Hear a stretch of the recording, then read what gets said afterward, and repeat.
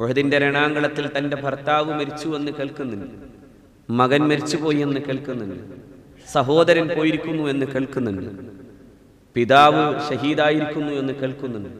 പക്ഷെ അതിനേക്കാൾ വലുതായ ഒരു കേൾവി ഉണ്ടായിരുന്നു മുഹമ്മദ് മുസ്തഫ സല്ലല്ലാഹു അലൈഹി വസല്ലമ തങ്ങൾ അവിടുന്ന് കൊല്ലപ്പെട്ടു എന്ന് വാർത്ത പറഞ്ഞിരുന്നു അത് കേട്ടിട്ടാണ് ഒരു സഹോദരി ഓടുന്നത്.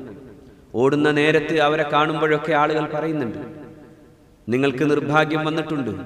ഭർത്താവ് പോയി സഹോദരൻ പോയി മകൻ പോയി പിതാവ് പോയി. അതൊക്കെ കേൾക്കുമ്പോഴും ഒരൊറ്റ ചോദ്യം മാത്രമേ ഇങ്ങനെ ചോദിക്കുന്നുള്ളൂ. എന്താണ് എന്റെ നബി ചെയ്യുന്നത്? മാ ഫഅല നബി സല്ലല്ലാഹു അലൈഹി വസല്ലം എന്താണ് ചെയ്യുന്നത്? നബി തിരുമേനി എന്താണ് ചെയ്യുന്നത്? അവിടെ നിന്ന് എവിടെയാണ്?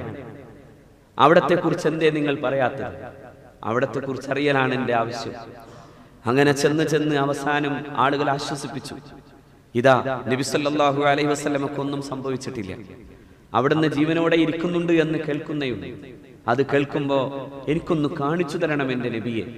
അങ്ങനെ കാണിച്ചു കൊടുക്കുമ്പോഴാണ് പറയുന്നത് നബിയെ എല്ലാ മുസീബത്തുകളെയും ഞാൻ മറന്നു കഴിഞ്ഞു. എന്റെ പിതാവ് മരിച്ചതോ എന്റെ പുത്രൻ പോയതോ എന്റെ ഭർത്താവ് മരിച്ചതോ എന്റെ സഹോദരൻ പോയതോ ഒന്നും ഞാൻ ഓർക്കുന്നില്ല. പക്ഷെ നിങ്ങൾ മതി. നിങ്ങൾ മാത്രം മതി എന്ന് മുഹമ്മദ് മുസ്തഫയോട് സല്ലല്ലാഹു അലൈഹി ഞാൻ എന്റെ സഹോദരന്മാരോട് പറയുന്നു ഇത് സ്വഹാബത്തിന്റെ ജീവിതത്തിലെമ്പാടും അങ്ങനത്തെ ഒരു പ്രണയം മഹാനായ പ്രവാചകൻ സല്ലല്ലാഹു അലൈഹി വസല്ലമയോട് ഉണ്ടായി. അവർ അള്ളാഹുവിന്റെ പ്രവാചകരെ അങ്ങനെ സ്നേഹിച്ചു. അതിരില്ലാത്ത സ്നേഹം. ആ അതിരില്ലാത്ത സ്നേഹത്തെക്കുറിച്ചും സ്വഹാബത്തിനെ കുറിച്ച് ചരിത്രകാരന്മാർ രേഖപ്പെടുത്തുന്നുണ്ട്. എന്തൊരു വല്ലാത്ത ബഹുമാനാദരം കൊണ്ടാണ് മുഹമ്മദ് നബി അവർ നോക്കിയത്. സല്ലല്ലാഹു അലൈഹി വസല്ലം